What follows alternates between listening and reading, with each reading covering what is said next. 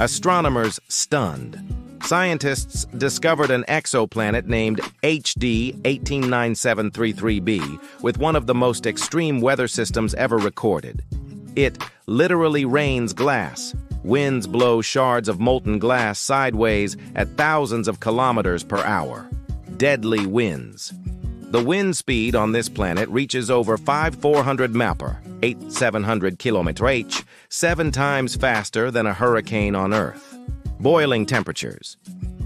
With a temperature of around 1000 degrees Cs, 1832 degrees the heat vaporizes elements that later form glass particles in the atmosphere. Made of silicates, the glass rain comes from silicate particles forming clouds, then condensing and falling as razor-sharp glass.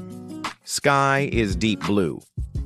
The planet's atmosphere scatters blue light, making the skies appear stunningly Earth-like, but it's pure illusion.